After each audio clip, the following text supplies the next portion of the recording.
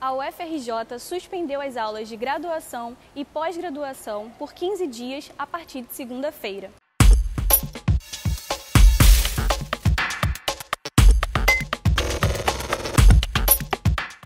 Entretanto, várias atividades estão mantidas.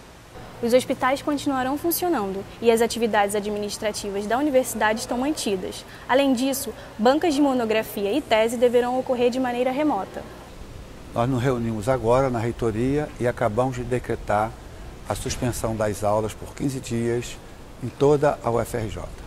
A orientação é que todos os alunos na graduação e na pós-graduação fiquem em casa estamos orientando aos diretores de unidade, aos professores, coordenadores de disciplina que passem atividades acadêmicas para eles realizarem em casa, para evitar perda de conteúdo, tendo os sintomas brandos.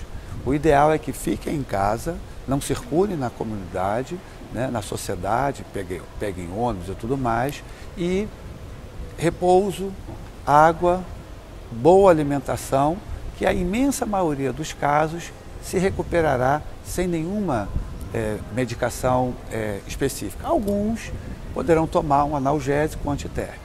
Agora, o mais importante, aquela pessoa que começou a apresentar os sintomas, mas evoluiu para falta de ar, esta pessoa deve procurar imediatamente uma UPA, um posto de saúde ou uma emergência de um hospital, porque essa pode eventualmente estar evoluindo para a forma mais grave da doença.